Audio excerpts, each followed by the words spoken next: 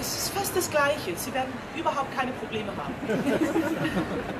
Muss auch nicht langweilig werden, oder?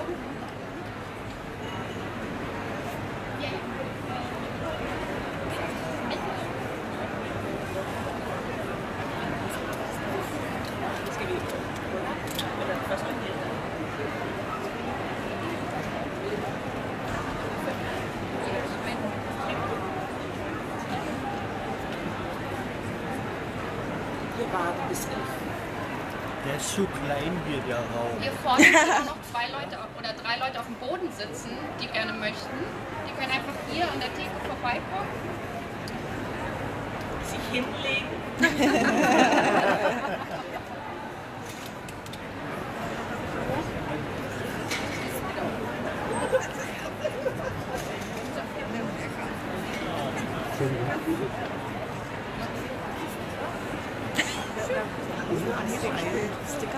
Ja, natürlich. verfolge natürlich deine Accounts. Dankeschön. Bitteschön. Wo du schon gestern Werbung gemacht hast. Mit der grünen Wanne. Ein, zwei Plätze hätten wir hier noch auf dem Boden. Also da kommen schon welche.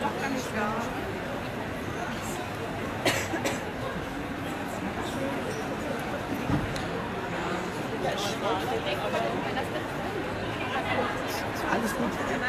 Wenn, wenn du wild bist, bist du Nein, dran. alles Also auf dem Fuchs Das wird So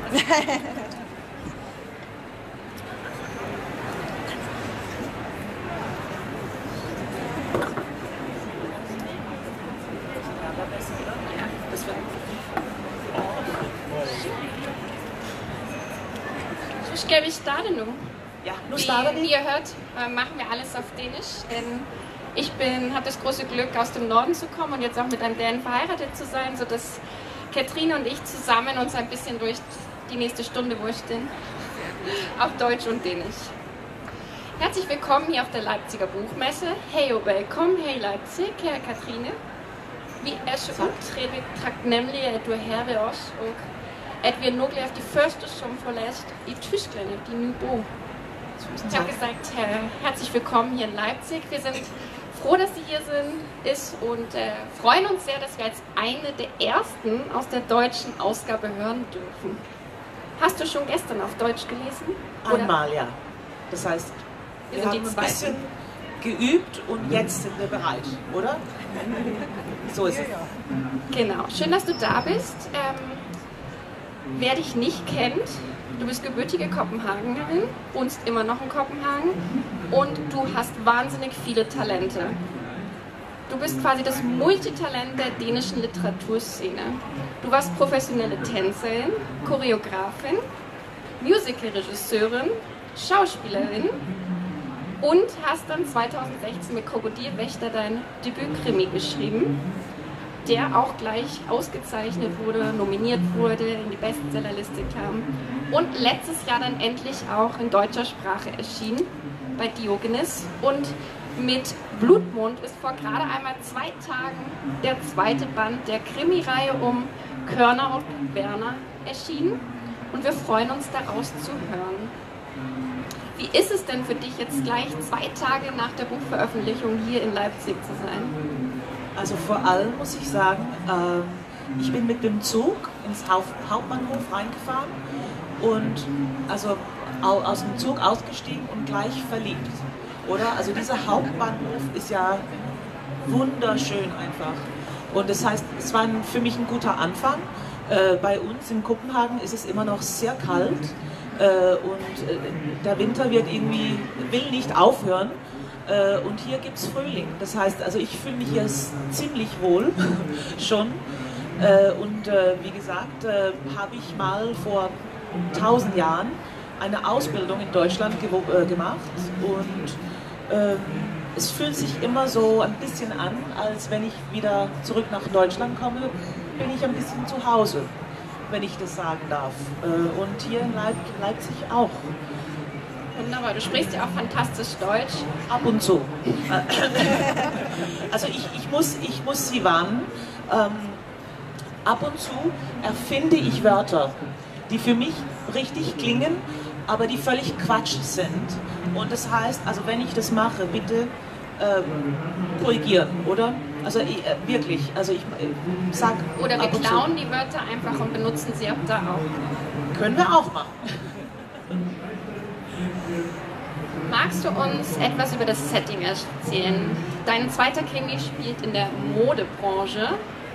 Darf ich schon verraten, dass ein berühmter Designer nicht so viel Glück hat? Und wie kommst du auf dieses ungewöhnliche Setting der Modebranche? Das ist jetzt nicht das typische Krimi-Setting, muss ich sagen. Und ich hatte erst ein bisschen Angst, dass ich dachte, uh, Modebranche, vielleicht ist mir das ein bisschen zu kitschig und es ist es überhaupt nicht. Also man muss kein Modefan sein. Der, äh, die Modebranche wird auch sehr mit sehr viel Humor gezeichnet. Man muss viel lachen danke. und Ja, gut. Das war ja auch meine Intention. Äh, ich ich äh, habe als äh, Choreografin durch zehn Jahren ganz, ganz viele Modeshows in Kopenhagen gemacht. Und ich habe mir immer diese Szene angeguckt und habe mir gedacht, das kann doch nicht sein. Also diese Leute sind so schräg und so äh, fantastisch irgendwie. Äh, ich muss irgendwann mal eine Geschichte über sie schreiben. Und das habe ich jetzt tatsächlich gemacht. Und ich habe von vorne ab gewusst, es wird ein bisschen gefährlich, denn Leute denken, Mode, Szene, das ist oberflächlich, das ist irgendwie, ähm, ja, kann man nicht ernst nehmen, oder? Äh, aber ich, ich, ich hoffe, es gelingt mir, dass diese Szene ähm, lustig darzustellen und auch äh, ehrlich. Äh, wobei, ich, ich habe ich habe einige von den Charakteren etwas runterziehen müssen, damit sie nicht so schräg waren wie im, also in der Wirklichkeit. Sonst wäre es einfach zu viel gewesen. Und das ist tatsächlich so.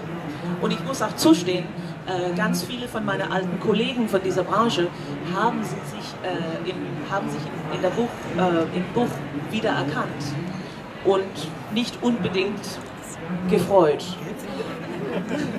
Das heißt, ich, jetzt, ich mache jetzt keine Modeshows mehr in Kopenhagen.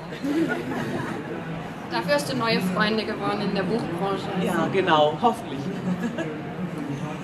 Magst du uns denn direkt etwas auf Dänisch vorlesen? Ich muss sagen, ich hoffe, ihr seid nicht zu sehr enttäuscht. Ich lese dann auf Deutsch. Also gestern, ähm, als, als wir diese erste Lesung gemacht haben, ist mir wieder aufgefallen, wie hart der, der Prolog eigentlich ist. Das ist ein bisschen hart. Nicht so zum Lesen, aber zum Vorlesen. Das heißt, entschuldige bitte, aber ja, So ist das Leben. so ist das Leben, ja. Man muss ein bisschen. Ja, ja, geht schon. Wunderbar. Ja, genau, genau. Das Buch ist so, ist so erschienen. Ich kann es nicht mehr ändern. Will ich auch nicht. Es ist, äh, aber ich denke mir auch, oder? Also Krimi-Leser, wir sind nicht, ähm, wie sagt man, empf äh, äh, Zart, kann man zart. sagen. Wir sind nicht so zart, oder? Sie können, Sie können schon was ertragen, oder? Schau. Also Sie haben ja auch wahrscheinlich viele, die dänische Krimis mögen, die haben wahrscheinlich Lucia Lausen gelesen oder Arne Dahl. Also da Der ist viel schlimmer als ich. Allerdings schreibe ich auch ab und zu, nicht viel, aber ab und zu ein wenig über Sex. Und ja, uh. Und äh, tatsächlich fängt äh, dieser Band äh, mit. also alle, die ihre Kinder mit haben, jetzt einmal die Ohren Genau, zu halten. genau, så ist es. Delilah støttede hænderne op af toilethusets rå murstensvæg og spredte benene, så kunden bag hende kunne komme til. Han var lavere end hendes højhælede 180 cm og ikke særlig veludrustet. Han havde svært ved at få den ind, greb fat i hendes nakke og hæv hende nedad, så han kunne komme til. Hun var ikke urolig. Hvis han blev for voldsom, ville hendes Alfons komme løbende fra sin udkigspost ved smedejernshegnet og stoppe ham. Hun frøs. Faktisk havde hun frosset hver dag, siden hun kom hertil for snart et år siden. Sommer, vinter. Hun kunne stort set ikke mærke forskel, når vinden strøg op under dynejakken til de bare lå. Men lige nu var det værre, end det plejede. Denne januar måned var historisk kold. Isvinter kaldte de det. Ishelvede var ordet, hvis man spurgte hende. Det var der ingen, der gjorde. Huden på kinderne blev tør, og øjnene løb i vand. Men det knagede så fint, når hun gik op og ned ad Skelbækgade og kulden holdt pakkerne øde om natten, så hun kunne betjene sine kunder i fred. Alles mitgekriegt? Ja? Ich kann es parallel. Soll ich direkt das jetzt auf Deutsch lesen schon mal? Bitte. Prolog. Die Laila stützte sich mit den Händen an der rauen Backsteinmauer des Toilettenhäuschens ab, damit der Kunde sie besser von hinten nehmen konnte. Mit ihren hochhackigen 1,80 war sie wesentlich größer als er. Außerdem war er nicht sonderlich gut ausgestattet. Er hatte keinen richtigen Steifen. Ungeduldig packte er sie im Nacken und stieß sie nach unten. Angst hatte sie nicht. Sollte er gewalttätig werden, würde ihr Zuhälter ihn aufhalten. Er beobachtete sie von seinem Posten am schmiedeeisernen Zaun. Sie fror, wie jeden Tag, seit sie vor bald einem Jahr hierher gekommen war.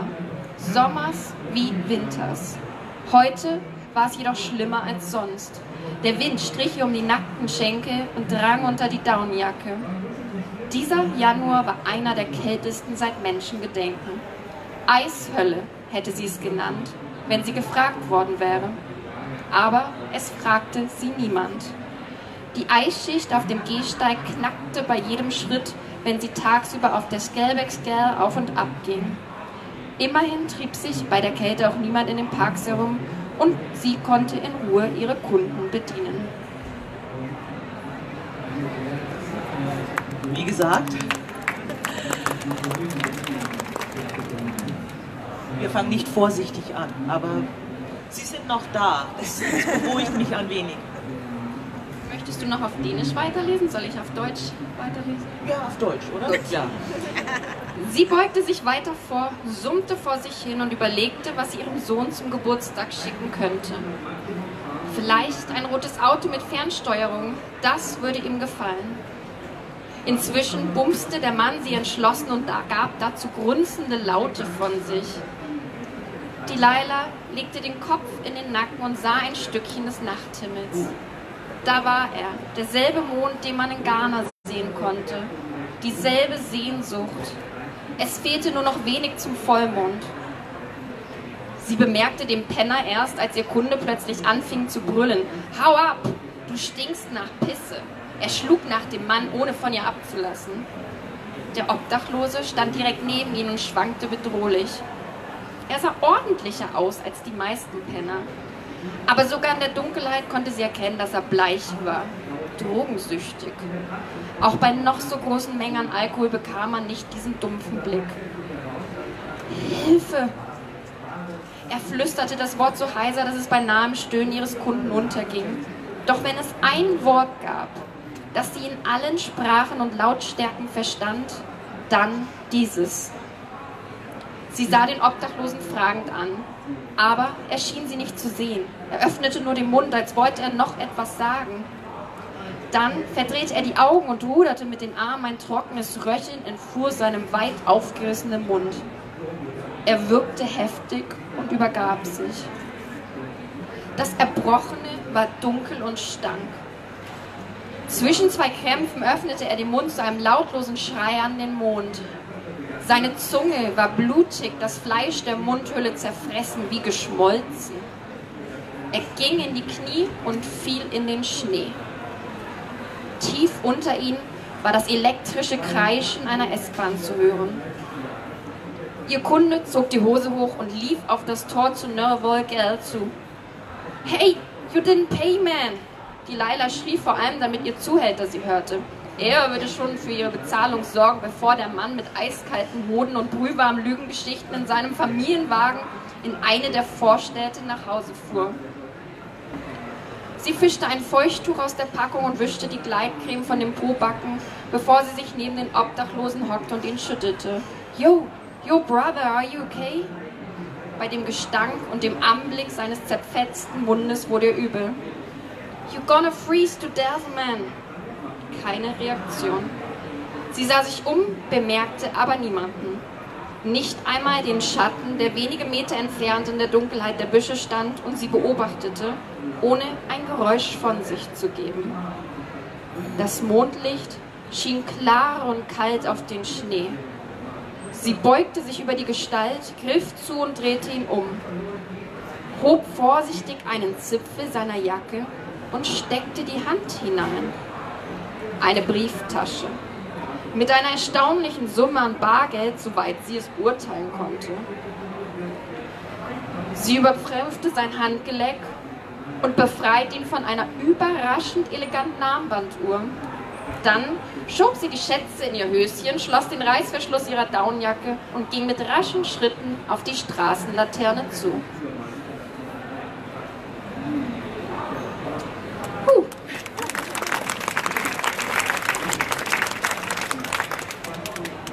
So fängt's an. Dein Prolog ist, wie du schon gesagt hast, sehr intensiv in vielerlei Hinsicht. Aber auch da spielt schon eine große Symbolik eine Rolle. Der Blutmond, der Mond, der blutige Mond. Magst du uns was? Du widmest das Buch auch unter anderem dem Mann im Mond.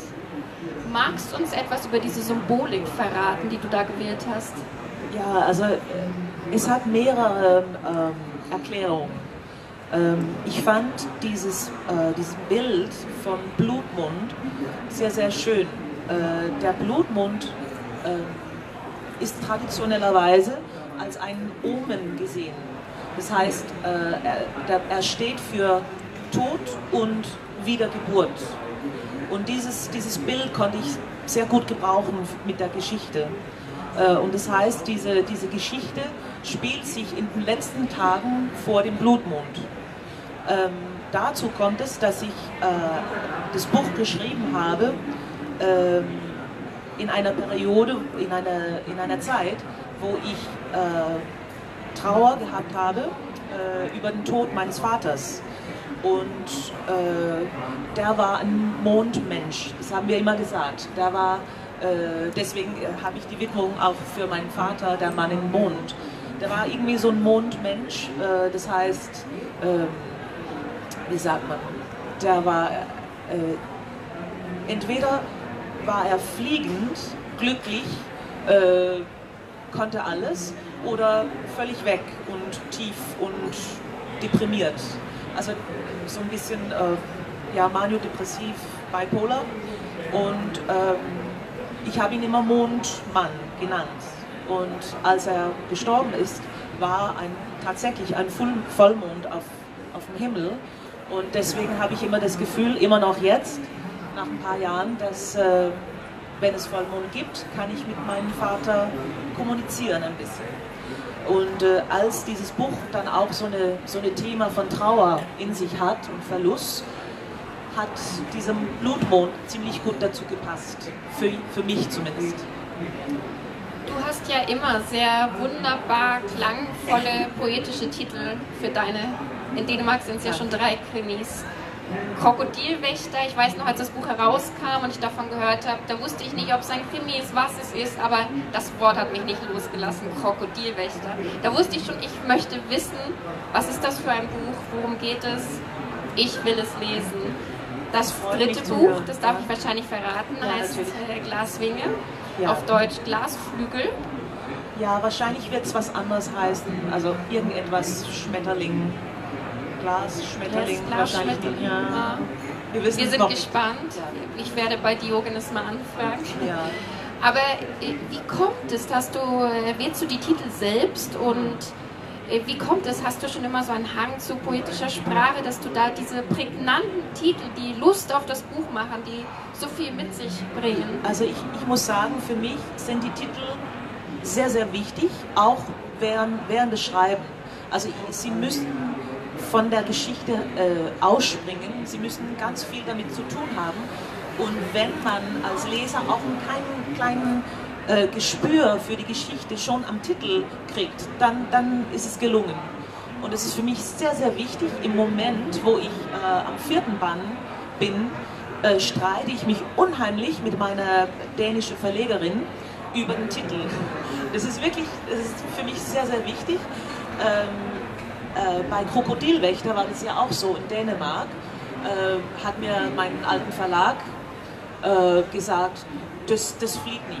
Also das ist nicht kommerziell genug, man versteht nicht, dass es ein Krimi ist äh, und überhaupt. Äh, und da bin ich stur geworden und habe gesagt, also wenn ich dann nur 100 Leser kriege, die dann den Titel verstehen, dann bin ich zufrieden. Und es hat, hat schon geklappt. Das heißt, ja, Das heißt, jetzt traut der Verleger sich auch nicht mehr was zu sagen. nein. doch, doch, wir streiten uns ja immer noch. Das ist ja, aber so soll es auch sein. Ne? Ja. Magst du noch eine kleine Stelle anlesen, wo man vielleicht deine beiden Kommissare kennenlernt? Gerne. Also ich habe Wenn es für ihn nicht langweilig wird, oder? Nein?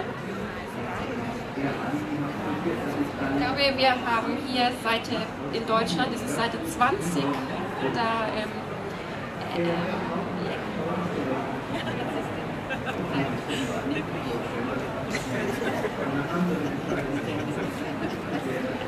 ja, Katrine, also ich habe das Buch nicht geschrieben. Das hoffe ich, ja. Wir reden von Poesie und Trauer und alles, alles was wir lesen, ist ja, leck mich, ja. Tut mir leid. Jetzt ganz rot. Also, auf Dänisch werden Sie jetzt lernen, gell?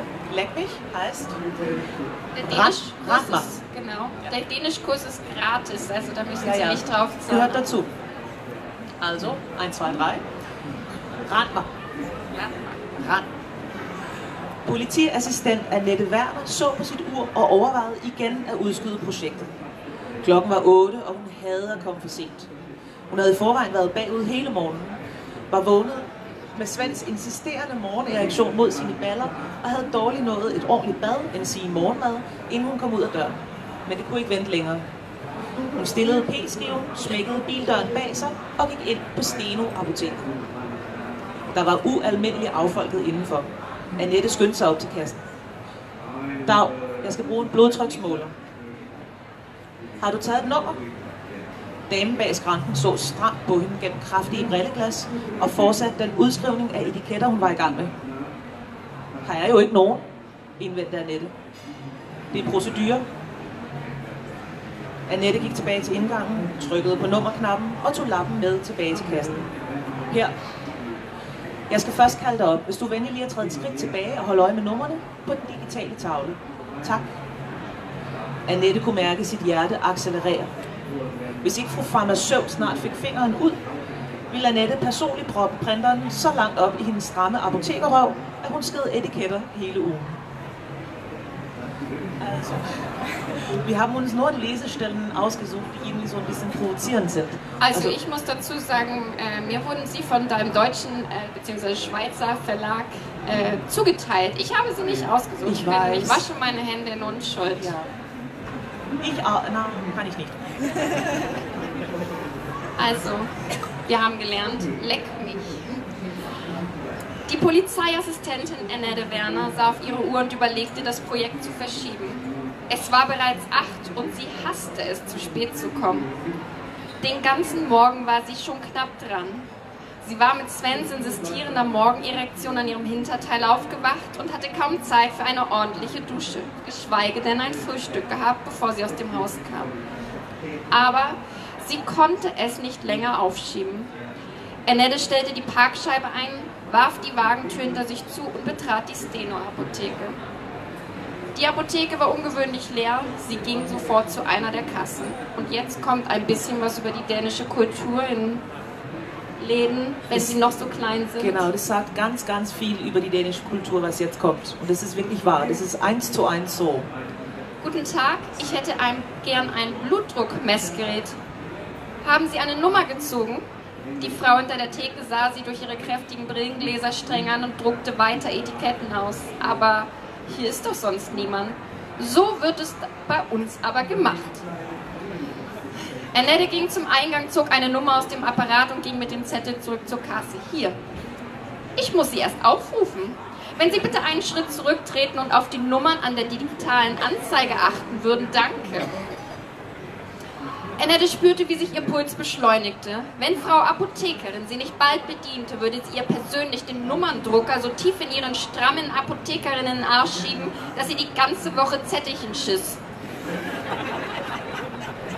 Nach einer vollen Minute drückte die Apothekerin Annettes Nummer und sie durfte 499,95 dänische Kronen für ein vollautomatisches elektrisches Blutdruckmessgerät mit der dazugehörigen Gebrauchsanweisung bezahlen. Die Ermahnung, ihren Hausarzt zu konsultieren, erhielt sie gratis dazu. Als Annette die Apotheke verließ, war ihr Blutdruck so hoch, dass sie im Auto fünf Minuten still sitzen musste, bevor sie es wagte, den Apparat auszuprobieren. Füße parallel stellen, Arm locker lassen, kein Stress. Die Manschette entleerte sich und sie schielte auf das Display der Maschine. 172 zu 118. Das war eindeutig zu hoch. Ihr Hausarzt hatte sie stets mit der Versicherung nach Hause geschickt, dass sie stark wie ein Bär sei, aber jetzt, jetzt würde er sie nicht einfach mit einem Klaps auf die Schulter aus der Praxis entlassen. Annette legte das Messgerät zurück in den Kasten. Vorerst musste es im Auto bleiben. Das Handschuhfach war gerade groß genug. Außer Atem und mit hochroten Wangen stürzte sie kurz darauf in das Büro, das sie sich mit Jeppe Körner im Polizeipräsidium teilte. Der dunkle, hohe Korridor, der die Büros der Abteilung für Gewaltkriminalität Sektion 1, gemeinhin Mordkommission genannt, miteinander verband, war verlassen und still, leer wie ein russisches Winterpalais und tatsächlich auch ebenso kalt. Ich wusste gar nicht, dass wir erst im Laufe des Vormittags zum Dienst antreten müssen. Ist das so eine Art Schichtwechsel, von dem ich nichts mitbekommen habe? Wenn das ein Witz sein sollte, war er nicht lustig. Nach seinem ewig langen Urlaub musste Jeppe sie jedenfalls sicher nicht maßregeln. Wenn du so pünktlich hier warst, hättest du uns wenigstens ein Croissant zum Frühstück mitbringen können. Annette knöpfte ihren Cardigan auf und konstatierte dann, dass es zu kalt war, um so dazusitzen. Ich hatte unterwegs noch etwas zu erledigen und ja, ich hatte einen guten Morgen. Danke der Nachfrage. Ich habe nicht gefragt. Eben. Annette blickt auf das alte Quecksilberthermometer an der Wand. 15 Grad. Jeppe schien das nicht zu stören. Sie ging in die Hocke und fummelte am Heizkörper. Im Übrigen ist das keine gute Idee mit den Croissants, Annette. Das ist nicht gut für uns. Nicht gut für mich, meinst du wohl? Annette hob den Kopf und blickte ihren Partner mürrisch an. An manchen Tagen war sein erhobener Zeigefinger einfach unerträglich. Weißes Mehl ist einfach ungesund. Liest du denn keine Zeitung? Jeppe bürstete unsichtbare Partikel von seinem Pullover und inspizierte seine Handflächen. Oh, um Gottes Willen, komm jetzt nicht wieder mit deiner Ernährungspredigt, Jeppe. Ich bitte dich. Es ist schon Strafe genug, dass ich den ganzen Tag mit dir in diesem Büro eingesperrt bin. Sie richtete sich wieder auf und schaltete ihren Computer ein, um Polsas zu starten, das veraltete Betriebssystem der Polizei. Ich gehe kurz in die Küche, ich sterbe vor Hunger. Im Kühlschrank fand sie eine Packung Toast und Salami und schmierte sich ein paar Brote. Für Jeppe war es leicht, schlank zu bleiben, wenn man mit einer 24-jährigen Veganerin in Australien herumzog und sich nur von Luft und Liebe ernährte. Als sie zurückkam, hatte Jeppe die Hände hinter dem Kopf verschränkt und die Füße auf den Schreibtisch gelegt. Annette ließ sich auf ihren Stuhl fallen und balancierte dabei auf jeder Hand ein Salamibrot. Eine Scheibe fiel auf den Tisch. Annette hob sie rasch auf und stopfte sie sich in den Mund. Jeppe wandte den Blick ab. Da du die morgendliche Besprechung verpasst hast, weißt du vermutlich nichts über den toten Obdachlosen von heute Nacht. Nein, was ist passiert? Annette schob ihren Bissen in die Backentasche, um artikulierter zu klingen. Ein Samstagsopfer? Es war zwar Donnerstag, doch sie bezog sich auf die damit verbundenen Wochenendsäufer, von denen im Winter immer mal wieder einer draußen in der Kälte erfror. Tja, sieht so aus. Ich hab's mir angesehen, aber Nebo meinte, es ist nichts für uns. Heute Nacht? Wo? Im Örstichpark, auf dem Spielplatz an der Farimaxstelle. Die Tür wurde geöffnet und die Polizeikommissarin steckte ihren Kopf herein. Geht es einigermaßen mit der Temperatur? Annette ließ ein hören. Ja, schon ziemlich übel. Körner, kommst du mal bitte in mein Büro? Die Polizeikommissarin schloss die Tür, ohne eine Antwort abzuwarten. Jeppe und Annette sahen sich an. Was sie wohl will? Jeppe stand auf. Hoffentlich etwas, das uns hier rausbringt. Annette erhob sich ebenfalls und ging auf die Tür zu. Ich muss noch einmal für kleine Mädchen, dann bin ich bereit, sofort loszustürmen. Sie tat, als ziehe sie an einem Truckerhorn und gab einen Tuten von sich. Jeppe schien sich zu überlegen, ob er die Flucht ergreifen sollte, bevor sie zurückkam.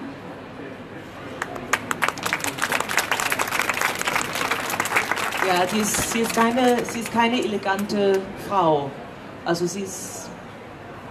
Genau, das war jetzt meine nächste Frage. Anhand dieser Stelle magst du uns ein bisschen was über Jeppe und Annette erzählen und über ihr Miteinander, wo sie sich ergänzen, wo sie gut miteinander harmonieren und wo es auch.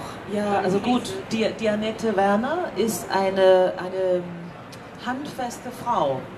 Die weiß, was sie will und, und bestimmt auch, was sie nicht will und sie macht nur das, äh, woran sie glaubt. Und so ist es immer gewesen.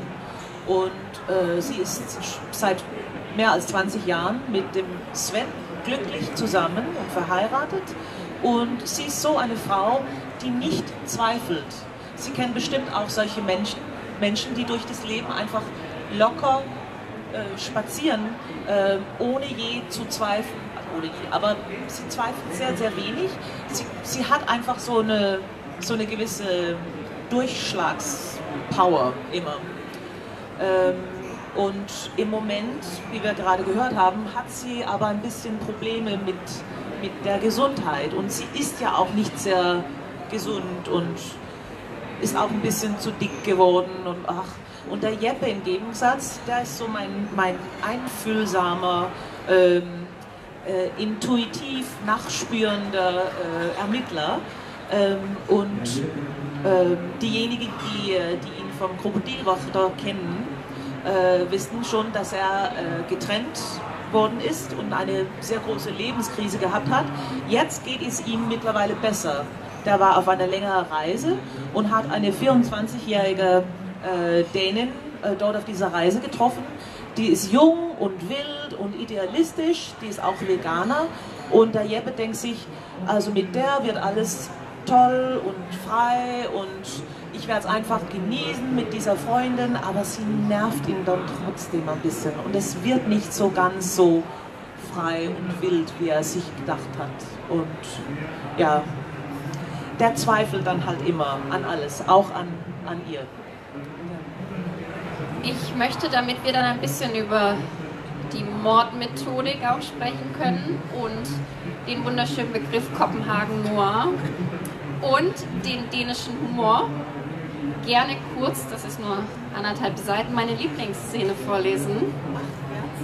Da lernt ihr dann nämlich auch Katrines ganz speziellen Humor kennen, der einzigartig ist, aber auch ein bisschen typisch dänisch, kann ich sagen.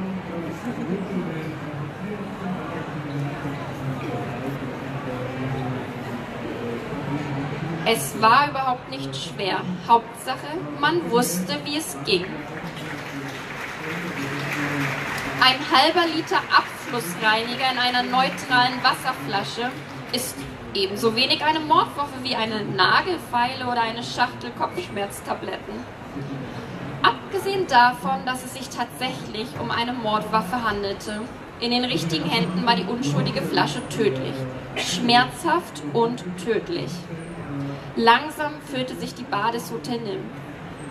Drinks und Wangenküsse. Der Modeschöpfer Rolf Toklum empfing seine Gäste in einer Smokingjacke aus der eigenen Kollektion. Er küsste, blinzelte und lächelte herzlich.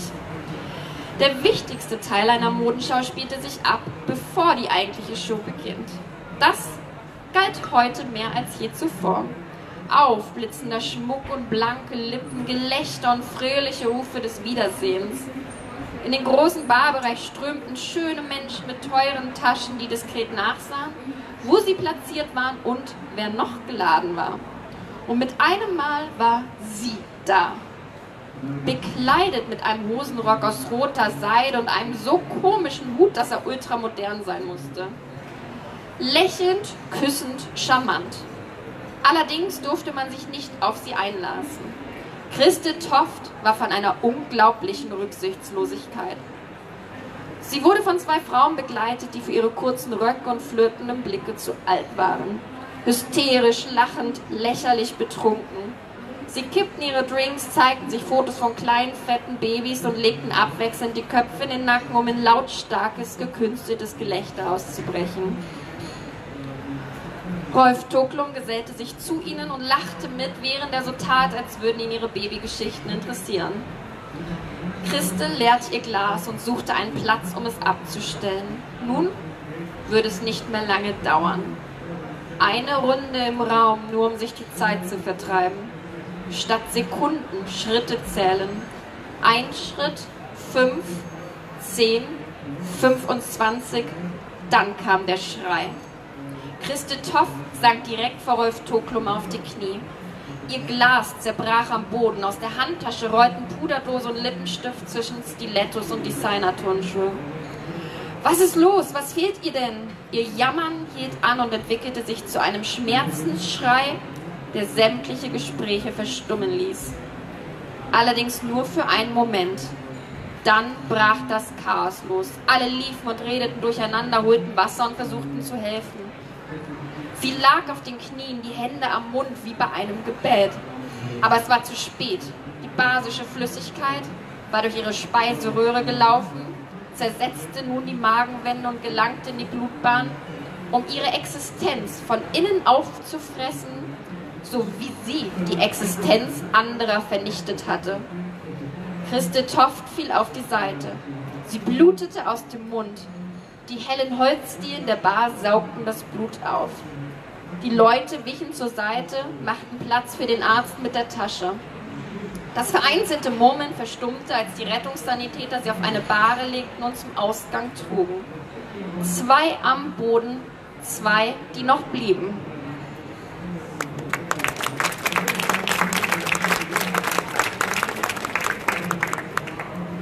Also, wir haben jetzt noch ein bisschen was über deine Mordmethodik gelernt und ich muss sagen, so ungewöhnlich wie das Setting in der Modebranche, genauso ungewöhnlich ist auch die Mordmethodik. Vergiftung, das kennen wir alle aus der großen Agatha Christie-Ära. Aber ich muss sagen, in den letzten Jahren wurde es doch sehr verdrängt von anderen Mordmethoden. Stimmt. Wie kamst du ausgerechnet darauf? Also ich bin ja immer äh, auf der Suche, äh, neue Methoden, Leute umbringen zu können. Ne? ähm, also ich finde, wenn man in dieser Genre schreibt, dann muss man die Ambition haben, was Originales darzustellen. Denn es gibt so viele Krimis schon. Und man kann ja nichts Neues erfinden, aber man muss trotzdem versuchen. Und ähm, mein Mann kocht und es gibt bei uns so Industrieofen, Öfen, Ofen, äh, die mit einem ganz, ganz krasse Reinigungsmittel gereinigt wird. Und wir haben einen Sohn und äh, ich habe meinen Mann vor drei Jahren gefragt, also was ist mit dieser Reinigungsmittel, ist ja gefährlich und es steht so auf dem Boden und was ist mit unserem Sohn? Und da habe ich mir gedacht, das könnte ich ja vielleicht gebrauchen. Das Problem ist aber, es riecht ja furchtbar und es schmeckt auch am meisten sehr schlimm. Plus, wenn man was äh, äh, acidic, äh, Säure? Säure, wenn man Säure einnimmt, kann das äh, ganz oft, wird man oft gerettet. Kann man Milch trinken und, und äh, ausspülen und so. Wenn man aber etwas trinken könnte, was nicht riecht, nicht schmeckt und was basisch ist, da kann man diesen Prozess, was anfängt, nicht ähm, äh, reversieren, umdrehen. Dann kann man es nicht bremsen. Und man weiß zuerst nach ein oder zwei Tagen, ob äh, derjenige, der es getrunken hat, überlebt oder nicht. Oft. Das heißt, die perfekte Mordwaffe. Ne? Man kann es in jeder äh, Drogerei für 2 äh, Euro kann man so eine Flasche kaufen. Hab, haben wir schon gesagt, was es ist? Sollen wir es verraten oder nicht? Das darfst du entscheiden. Nicht verraten. Ich glaube, hier sind viele verheiratete Paare. Wir ja, verraten ja, das zu gefährlich. Zu gefährlich. Genau. Ähm, Wir aber wollen, dass sie alle noch glücklich ja, verheiratet bleiben. genau. aber es hat mich so, ähm, ja, tut mir leid, also so inspiriert, dass ich diese zugängliche Mordwaffe erfunden hatte. Ich weiß noch nicht, ob es jemand zuvor gebraucht, verwendet hat, aber ich glaube nicht. Ähm, das Problem, das zweite Problem war dann, was passiert, wenn man diese Flüssigkeit trinkt? Ich konnte es ja nicht selber ausprobieren, oder? Das, da habe ich mich nicht getraut. Und ich habe tatsächlich äh, den Fabrikanten angerufen, um danach zu fragen. Und das Gespräch war nicht sehr gelungen, kann ich Ihnen verraten. Da, Ja, äh, guten Tag. Ich möchte gerne wissen, äh, wie ich mit dieser Reinigungsmittel jemanden umbringen könnte. Das kann ich nicht empfehlen, ähm, so einen Anruf zu machen. Äh, ich habe aber tatsächlich dann mit der Zeit äh, Kontakt bekommen zu äh, Ärzten, die dann äh, eine gewisse Erfahrung mit dieser Substanz hatten. Und da bin ich kluger geworden und weiß deswegen genau, was passiert, wenn man sowas trinkt, wie viel man trinken muss und was dann los ist. Und das äh, hat mich sehr gefreut. Uns als Leser auch. Hoffentlich. Wir wissen inzwischen alle, die Dänen gelten als das glücklichste Volk der Welt. Alle sprechen Stimmt. über Hügge. Wir wissen jetzt schon aus den paar Ausschnitten, es ist nicht alles Hügge im Staate Dänemark. Ihr habt auch eine große Tradition der Krimi-Autoren, Thriller-Autoren, sehr grausame Autoren. Wie passt das zusammen? Habt ihr, ist das etwas, was mit eurem, ich finde ja immer, euer Mo- Humor ist ein bisschen dunkel, ein bisschen morbide. Echt? Kann schon sein. Also, und ich glaube, es gehört genau zusammen.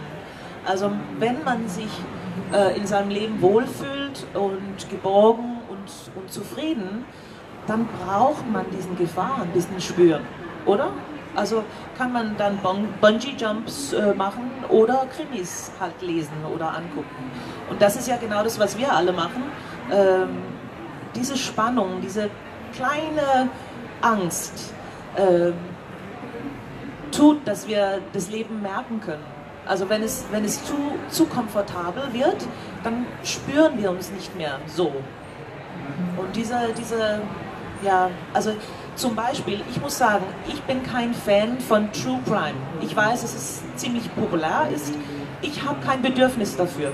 Ich will nur mit der Spannung äh, in, in Fiktion umgehen. Also ich finde, so richtige Serienmörder ist nichts für mich. Also ich, ich, ich stehe so nicht auf Gewalt und Mord. Nur mit diesem äh, Gespür, also das, das ist halt dieses Gefühl, diese, diese Spannung. Äh, und es muss am liebsten für mich kostenlos sein, das heißt keine richtige Opfer, nur im Kopf. Äh, dann, dann spüre ich halt, dass ich lebe irgendwie. Entweder das oder, oder eben Bungee Jump. Und da traue ich mich nicht. Das heißt, für mich ist es Krimi. Also ich bleibe auch lieber bei deinen Krimis. Freut mich. Kopenhagen ist eine wunderschöne Stadt. Sie ist sehr hell, entspannt. Man kann wunderbar in Nyhavn flanieren. Softeis mit Lakritzstreuseln essen, an einem Pölsebaum, einen Hamburger oder einen Hotdog holen, ein kühles Karlsberg trinken und die Schiffe beobachten. Aber trotzdem gibt Schön. es eine wunderbar düstere Seite, die du wie keine andere hervorbringen kannst. Wie, wie hast du da recherchiert? Also wie, Ja, also gut, ich meine, ich bin ja in Kopenhagen geboren. Ich kenne die Stadt ziemlich gut. Und das heißt, ich kenne die dunkle Ecken auch schon seit ewig. Und ähm, die sind ja, die, die, die dunkle Ecken und die, die schräge Charaktere, die auch in Kopenhagen sind, äh, das sind ja die Faktoren, die Kopenhagen richtig interessant machen. Denn ohne, ohne die Dunkelheit wird alles ja zu einfach und, und langweilig. Ne? Also glückliche Menschen sind ja eigentlich sehr langweilig. Ich würde auch nie darüber schreiben können. Also es, ja, es ist ja schön. Wie geht's dir? Gut? Okay. Äh, kommt man irgendwie nicht weiter. Also das heißt, wir brauchen diese Dunkelheit. Und es gibt in Kopenhagen ganz, also das ist eine ganz vielschichtige Stadt. Äh, auch weil die sehr alt ist. Äh, das ist ja eine Mittelalterstadt und oft äh, verbrannt und dann auf die Ruinen wieder aufgebaut. Und das heißt, es gibt auch also ähm, richtige Schichten. Ähm, und ich entdecke immer was Neues. Also ähm, ähm, letztens habe ich eine, eine Kolonie von äh, Obdachlosen äh, beim Hauptbahnhof entdeckt. Unter, unter die Erde gibt es Labyr so eine Art Labyrinthe, alte Labyrinthe. Und man kann auf dem Perron, Perron stehen, also bei den Zügen, Bahnsteig? Bahnsteig, genau, auf, auf der Bahnsteig stehen, auf dem Bahnsteig und dieser Eingang sehen, wo die Obdachlosen reinklettern, runter und da wohnen sie.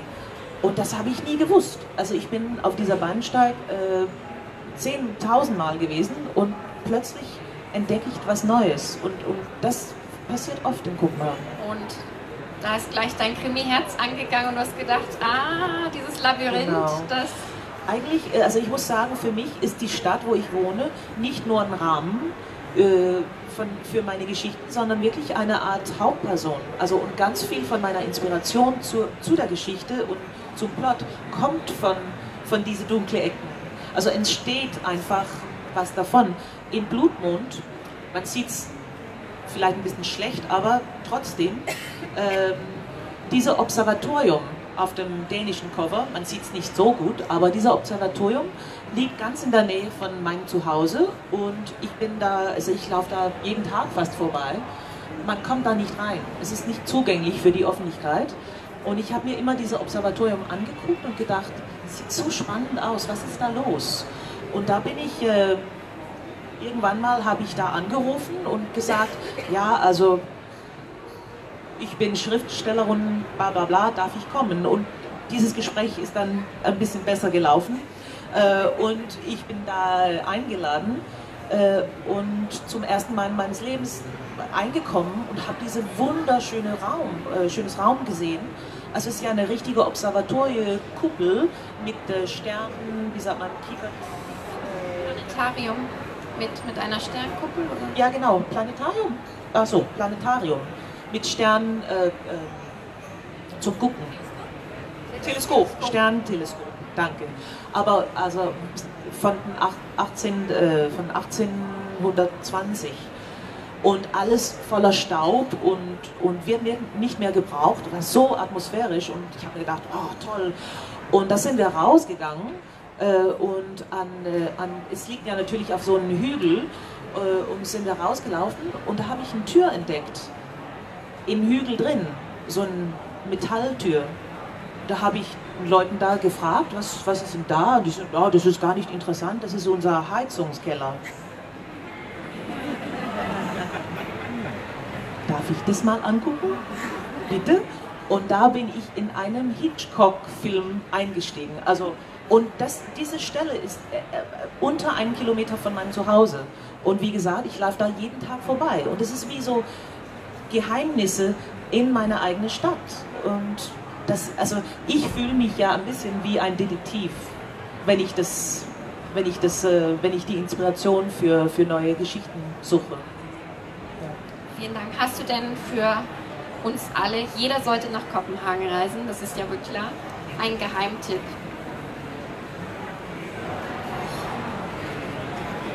Dein Lieblingswohlfühlort? Es gibt so viele, also ja, doch, doch, ich würde sagen, wenn Sie nach Kopenhagen kommen, diesen Sommer, äh, werden wir jetzt abmachen, ne? wir sehen uns in Kopenhagen diesen Sommer, ähm, unbedingt, ja, unbedingt durch den Hafen im, in einem Boot ein bisschen rumsegeln. Man kann ja diese, diese ähm, wie sagt man, so große äh, äh, Kanalrundfahrt, Kanalrundfahrt. Hafenrundfahrt, Hafenrundfahrt machen. Noch besser gibt es aber zum Mieten kleinere Boote. Und da kann man, also, nein, nein, nein, also mit Motor. man, muss nicht, äh, man muss nicht radeln. Ähm, da kann man zu viert oder zu fünft in so einem Boot durch die Kanale, durch Kopenhagener Innenstadt rumsegeln und alles vom Wasser sehen. Und es ist ja eine Hafenstadt, genauso wie zum Beispiel Hamburg. Und es ist, es ist eine wunderschöne Stadt, aber vom, vom Meer die Stadt anzugucken, wird, also es wird einfach tausendmal schöner. Das kann ich wirklich empfehlen. Dann zu guter Letzt, du schreibst am Band 4, in Dänemark ist Band 3 schon erschienen. Ich verrate euch natürlich nichts. Ich kann euch aber empfehlen, Dänisch zu lernen, dann könnt ihr ihn schon lesen. Aber wir dürfen uns neben einem neuen Fall auf eine spektakuläre Mordwaffe freuen. Schon Also wieder. wenn man sich denn auf Mordwaffen freuen darf. Darfst du uns denn ein ganz klein bisschen über Jeppe und äh, Annette im Band 3 erzählen? Oh, nee. Nee, machen wir nicht. weil Dann verraten wir ja, was in Band 2 passiert. Das will ich lieber nicht. Okay. Nee. Nicht spoilen. Ist ja, ist ja so gefährlich bei Lesungen. Ja, es ist so, so gefährlich bei Lesungen. Man möchte ja immer alles teilen, aber dann doch nicht, oder? Also auch nicht spoilen. Ja, lieber nicht über Glaswegen. Nee. Genau. Aber ich kann euch schon verraten, wie gesagt, es ist spektakulär, sehr kreativ. Aber zuerst müsst ihr jetzt alle Blutmond lesen und ich kann euch versprechen, auf Lovely Books selbst könnt ihr euch noch bis Sonntag für eine Leserunde bewerben. Da gibt es 30 Exemplare zu gewinnen und Katrine selbst nimmt an der Leserunde teil. Man kann ihr dort Fragen stellen. Sie wird fast alle Fragen beantworten. Ja, wir sind nicht satt. Ich bin Dänen. Sie können ruhig alles. Also Sie Genau. haben ja schon gehört. Ich bin nicht zart. Genau, Katrine wird nichts lesen, was sie nicht schon kennt. Also von daher ähm, bewerbt euch auf Lovely Books für die Leserunde. Es gibt 30 Exemplare zu gewinnen. Hier gibt es noch fünf Exemplare, glaube ich, ungefähr zu kaufen. Katrine signiert. Ich kann Blutmond jedem empfehlen. Es ist wirklich raffiniert bis zur letzten Seite. Es ist wunderbar detailverliebt sehr spannend und mit einem wunderbaren Sprachgefühl. Es macht Spaß zu lesen, es unterhält es und äh, man kann nicht schlafen, bevor man nicht fertig ist. Also ihr Freu müsst es alle dann. lesen. Ich kann sagen, mange tak for din besøg. Velbekomme. Jeg ønsker dig mange dejlige oplevelser her i Leipzig, og vi alle glæder os allerede at læse mehr af dig i fremtiden. Ich habe vielen Dank, schön, dass du da warst. Wir freuen uns auf Blutmond und dass du jetzt noch signierst, vielleicht ein bisschen. Sehr gerne. Vielen Dank.